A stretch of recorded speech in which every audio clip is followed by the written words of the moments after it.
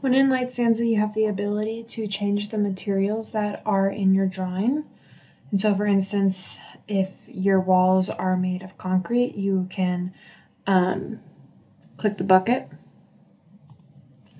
and change the material to concrete. Also, you can change your windows to be a certain glass if you'd like to make a more accurate calculation.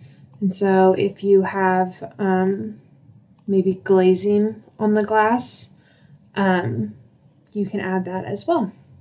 So there's all sorts of different materials that you can add within here. These are some of the manufacturers that you, we use their products to run our calculations. And these are all at your disposal.